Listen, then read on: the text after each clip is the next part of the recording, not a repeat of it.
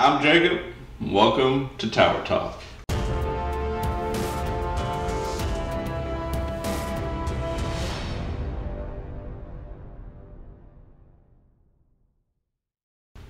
I got a fun little one for you today. This is Karador Ghost Chieftain. One white, one black, one green, five generic mana. However, he does cost one less generic for each creature card in your graveyard.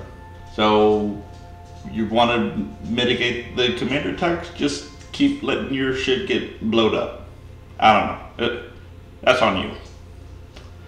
And once during each of your turns, you may cast a creature spell from your graveyard, which means multiple ETB triggers.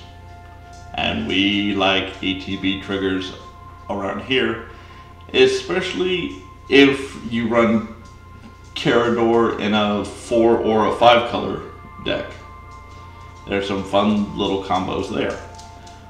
But he does come in at a 3-4.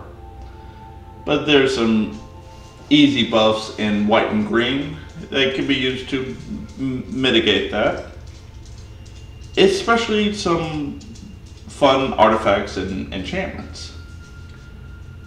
But uh, I'm not li listing everything that you could do with them because there's some real nonsense that you can do with them.